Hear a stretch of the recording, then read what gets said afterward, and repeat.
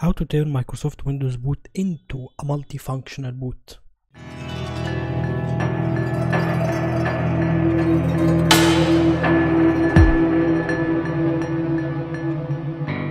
Here I got a Windows 11 25H2. I will just press right click, 7-zip and extract to.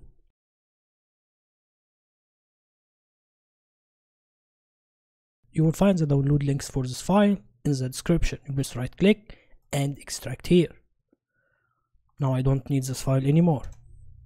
I will go inside and I will find DISM GUI. Press right click and run as administrator.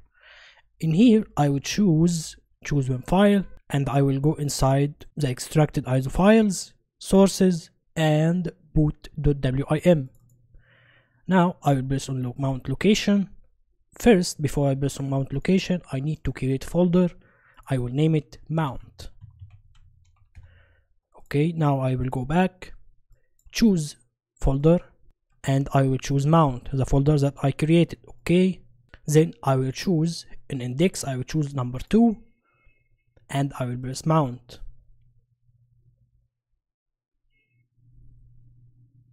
Okay, now I'm done mounting. If you want to remember the steps, I left a file called help.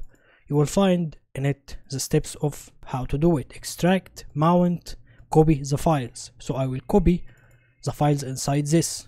Click, right click, copy, back, back, inside mount, right click, and paste. Do this for all current items, continue.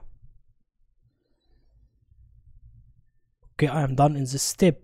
I need, I will go back to the file and it says extract these files. How do I extract these files? I will go inside my extracted ISO files, sources, install, .wim, right click, 7-zip, open archive, go back, go back, and I will go to mount, Windows, system 32, then I will go here, 7-zip, I will go in one, Windows, system 32, and I will find the files that are mentioned here, MSI. I will grab the file and put it here. Yes. The next file is OLEDLG. OLEDLG. Move the file, take it outside, press confirm, and we are done of this step. We finished this step. I will go back, press refresh. I will go back, back, back, go back to the DISM GUI, press dismount and press yes.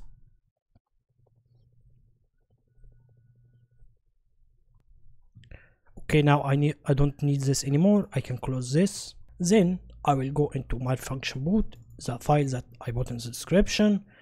Go into kit start it close this window and I will go to advanced WIM registry editor press on browse and I will insert the boot WIM then I will press two clicks on Microsoft Windows setup I will press two left clicks. This is we are going to modify the registry files.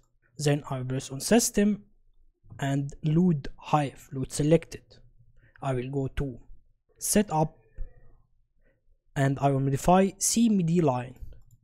I will copy this X start bat and I will paste it here.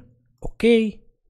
And I will close then I press on it unload hive unload selected close save and rebuild now I have finished the modify registry file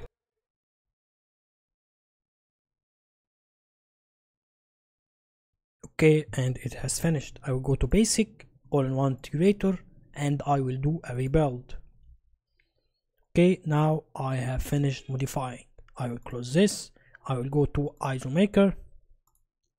I will insert this folder, go to browse.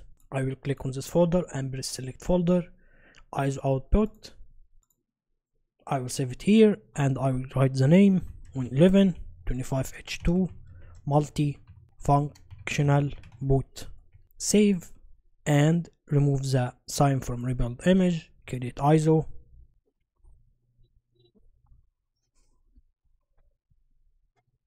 and we are done. We finished all the steps. Convert the folder to iso file. We already finished this step. Now we just need to test the new iso file. I will test it in VMware. If you want to test it by burning it on your USB flash drive using Rufus or Ventoy and booting from your USB flash drive, you will see the following. I will insert it in VMware and start. And as you can see, we got the multifunctional boot. This is the installation. If you press on this, you got all these programs and you got a file explorer. Here you got access to all the programs. If you want to go back go back. You will find all the partitions and everything you got on your pc if you want to access the programs again you go to boot program files and you can access all the programs. All these programs work without any issues. If you want to go to the installation press alt tab alt tab and you got the installation. You can proceed like there is no changes at all if you want to see the difference between the normal boot and this boot, we will look at it. This is the normal Microsoft boot and this is your new boot with all the programs you got and the Windows installation. You can access any of these programs, it works 100%. You got Macrorit Partition Expert if you're planning to repartition your disk drive before installing the Windows. You got everything you need, CPU ZAT and all the good stuff without any issues. Just remember to not close this window. If you close this window, you will get a restart. And as you can see the difference, it's way much better. I hope you enjoyed this video. Please don't forget to subscribe and share the video with whoever you might think need this video. And I will see you in the next video.